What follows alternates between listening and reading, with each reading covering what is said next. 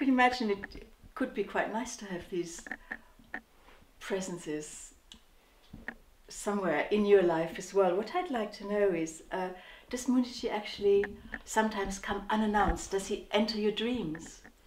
Yes, Munjiji sometimes does enter my dreams, but not that often. So, in fact, in the space of this team, I've been working with them and they've been working with me for about eight years.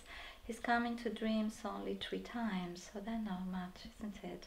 But I would say that the um, influence in my life has been quite noticeable. So um, I would say it doesn't come unannounced because really the skill, the difference between a person that may uh, just begin to receive imprint, mental imprint from uh, the invisible world and people have a, a, certain amount of experiences the capacity to control and to attend of those type of encounter and circumstances so that you do choose consciously when and how um, engage into the work together because it's a collaboration. So in my case, because uh, when I was young, I was already a trance medium quite early in my life.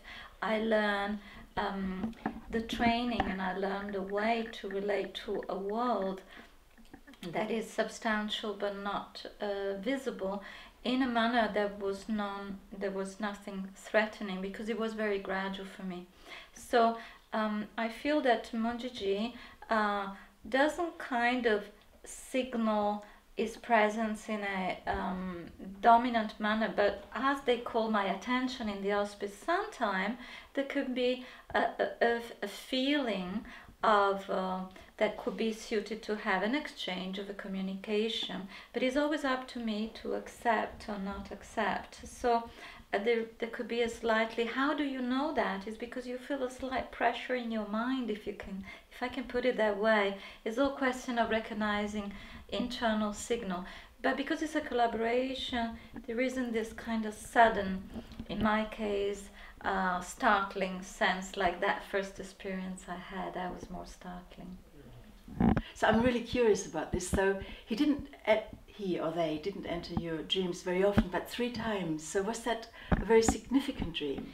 I think the mm, the reason simply was that I was a little bit eager more to see them, and uh, particularly the personality of the spook person that is Munjiji.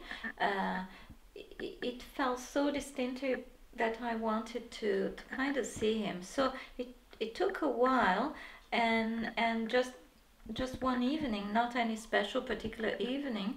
Uh, so as I fell, fall asleep, I could see this distinctive presence, but I also um, can say that the fluidity of this personality, as I describe, it can look more Mongolian or can be very Chinese, and sometimes there is a Russian influence. So it, it in different uh, dreams there were a different quality. That's why three times and it was more for me there wasn't any specific communication that was kind of very important or relevant. It was almost like i wanted a, a reference perhaps of a face as well as a um, personality but what i was left with was more like a flavor in fact. Although i there was a, a, feature but that feature could take also certain slightly fluid different um, aspects